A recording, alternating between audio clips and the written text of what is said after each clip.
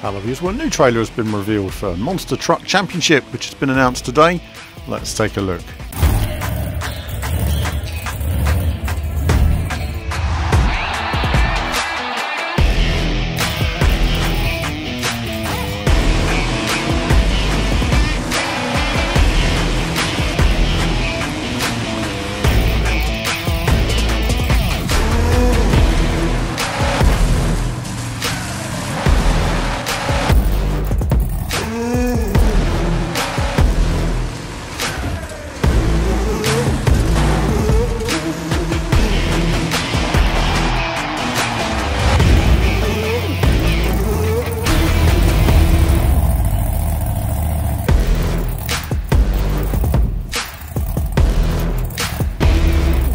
So, Monster Truck Championship then. Players can race on 25 circuits in different cities across the United States. Several game modes will be available, including freestyle, race, destruction, time attack, and an online mode supporting up to eight players.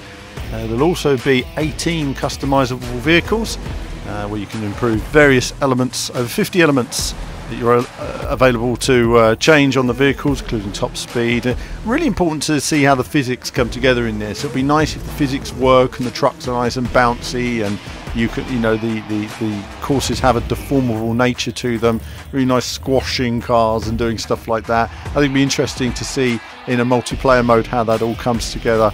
Uh, trucks potentially flipping in the air and bouncing off each other could be good fun if they do it right. This looks like a very early build to me. Uh, and of course, there's a, a, range of tournaments in the game and a career mode as well. We'll see how that comes together as well.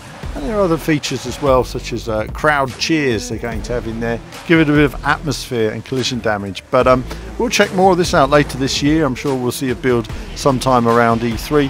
Monster Truck Championship will be available in the autumn on PC, PlayStation 4, Xbox One, and Nintendo Switch. We'll keep our ear to the ground, and there'll be more from us very soon.